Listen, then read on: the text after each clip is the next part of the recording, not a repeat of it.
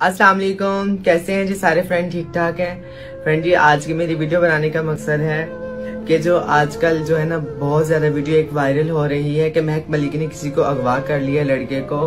पहली बात तो ये है कि मैं रिएक्शन इसलिए नहीं किया। मैंने कहा कि पहले भी बहुत सारी कभी मेरे एक्सीडेंट कर देते हैं कभी मुझे मार देते हैं कभी कुछ कभी कुछ ऐसी वीडियोस आती रहती हैं। तो ये भी ऐसे ही फेक वीडियो है। जब किसी को पता ही नहीं है तो किसी को कमेंट पास करने के कोई हक नहीं है। हदीस मुबारक है जिस, जिसका मफहूम है आपने नबी सल्लल्लाहु अलैहि वसल्लम ने फरमाया है। कि मेरा उम्मती हर गुनाह कर हर गुनाह कर सकता है लेकिन झूठ नहीं बोल सकता। तो वो माँ जी मेरी माँ के बराबर है उनको भी शर्म नहीं आ रही वो भी कैसे झूठ बोल रही हैं।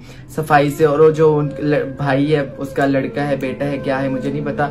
वो भी कह रहा है कि महक के साथ हमारी मुलाकात हुई है और महक ने हम हमें कॉल किया है हमें धमकियाँ दिया पहले तो मैं ये कहूँगी मांगा बीस लाख। पहले तो मैं ये कहूँगी कि वो जो है ना वो फ़ोन कॉल ही खाएँ और दूसरा उनके पास अगर कोई प्रूफ है तो। और दूसरा ये भी वो झूठ बोल रहे कि महक ने हमें, हमसे जो है ना पैसे मांगे, हमें फ़ोन किया, हमारे साथ मुलाकात की है।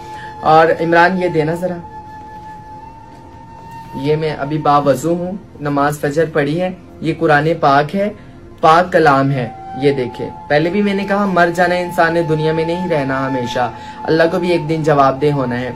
मैं इस कुरान पाक कलाम पर हाथ रख के ये कसम खाती हूँ, जिसके कब्जे में मेरे और आपकी जान है, कि ना मैंने उस लड़के को अगवा किया है, ना मेरा इससे कोई लेन देन है, और मुलाकात तो दूर की बात, मैंने बाय फेस उसको देखा तक नहीं है, जिस इंसान की मुझ पे एफआईआर हो गया कि मैंने उसको अगवा किया, ये कुरान पाक है।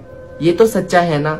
इस पर मैं हाथ हाथ रख कर कह रही हूँ, कि मेरी उससे ना कोई मुलाकात है, ना मैंने उसको देखा है, और ना मैं उसको जानती हूँ, और उसकी जो है ना ऐसी मुझे, मेरे ऊपर एफ़ आई आर इन्होंने करवा दी, मेरे नाम को मिस यूज़ किया जा रहा है। मुझे अपने अल्लाह पर यकीन है कि मेरा अल्लाह इंसाफ करेगा।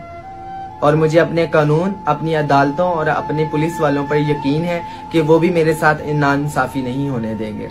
मुझे अपने अल्लाह पर यकीन है। कोई बात नहीं जब जो कि इंसान सच्चा होता है और जब उसका कोई गुनाह नहीं होता और उस पर कोई हालात आते हैं तो वो उसको ऊपर लेकर जाने के लिए होते हैं। कि अल्लाह उनको अजर अजीम दे जिन्होंने अच्छी अच्छी बातें लिखी हैं कि महक मलिक ऐसा नहीं कर सकती। तो अल्लाह पाक मेरी दुआ है अल्लाह पाक आपको खुश रखे। ऐसा ही है मैं कभी भी ऐसा नहीं कर सकती।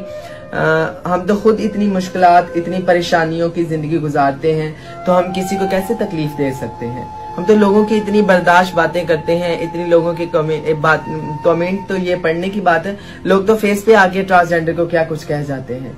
कि जैसे ये इंसान ही नहीं है, इनकी कोई फीलिंग ही नहीं है। तो हम तो वो भी बर्दाश्त करते हैं, लेकिन हमारा अल्लाह देख रहा है सब कुछ। सबको एक दिन जवाब दे होना है।